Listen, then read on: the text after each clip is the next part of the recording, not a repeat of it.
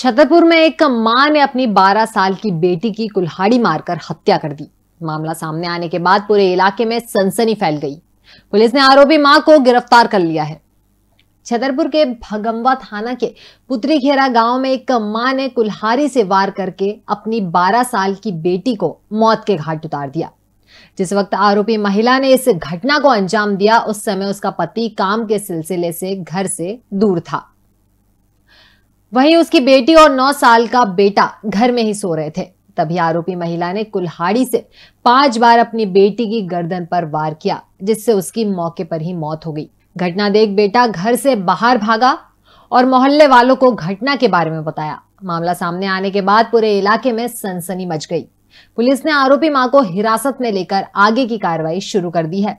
आरोपी माँ की मानसिक हालत कमज़ोर है, जिसका लंबे समय से इलाज चल रहा है।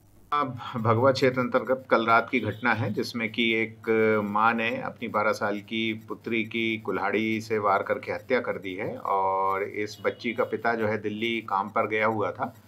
माँ के बारे में बताया गया है कि माँ मानसिक रूप से अस्वस्थ थी और इसका लंबे समय से इलाज चल रहा था। और कल उसी आवेश में या जो भी कह लें उसने अपनी पुत्री की हत्या कर दी है और इस संबंध में थाना बगवा में धारा 302 आईपीसी के तहत प्रकरण पंजीबद्ध कर लिया गया है और माँ को हिरासत में ले लिया गया है और जो हथियार, कुल्हाड़ी जिससे हत्या की थी, वो जब्त कर ली गई।